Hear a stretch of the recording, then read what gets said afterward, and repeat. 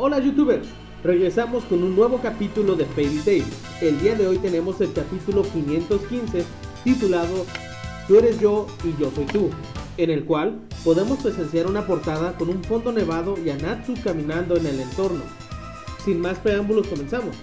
Primeramente nos dan a conocer al padre de Ersa, quien era el general de un país, cuyo matrimonio con Eileen era meramente político, con el fin de evitar las guerras entre ambos países.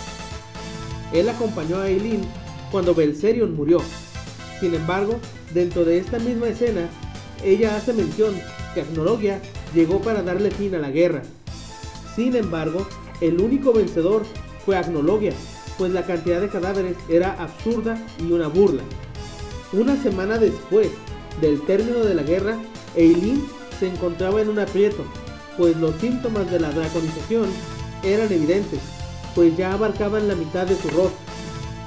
Esto le valió que fuera considerada un monstruo y amenazada por su propio esposo, quien no tenía ningún sentimiento hacia ella, debido a que solo era un matrimonio político.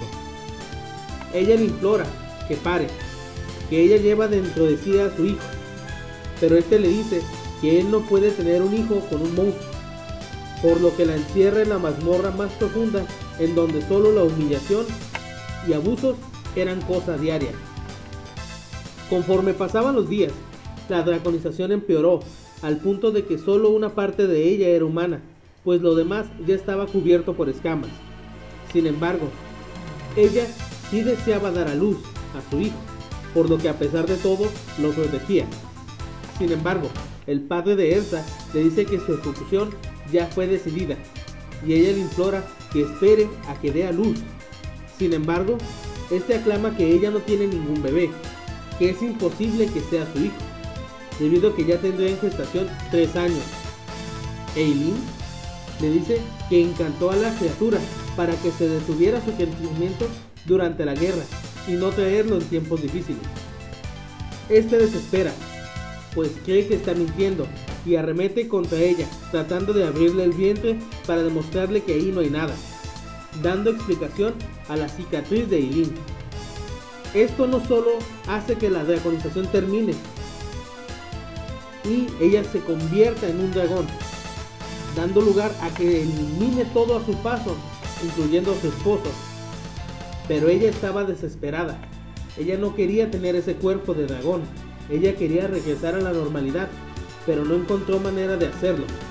Y así pasaron cientos de años. Durante este tiempo, Ersa aún estaba dentro de ella. Es en una montaña alejada, donde nadie osaba entrar, que ella siguió intentando regresar a la normalidad, pero sin éxito. Hasta que un día se topó con Seref, quien no solo la reconoció como humana, sino que le devolvió la forma que tanto deseaba. Seref le comentó que solo en apariencia es humana, pues ella ya perdió su humanidad hace mucho. Y esto lo comprobó al tratar de dar bocado, siendo que nada tenía sabor para ella. No podía dormir, se empezaba a volver loca.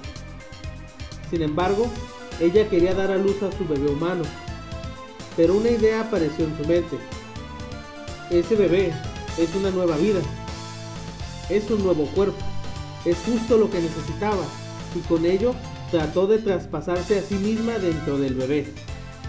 Al ver que no había éxito, ella no tuvo misericordia del bebé y lo tiró cerca de un pueblucho de quinta. Pero Elsa le agradece esto, debido a que si no hubiera sido así, no hubiera conocido a su verdadera familia. Y con ello termina el capítulo.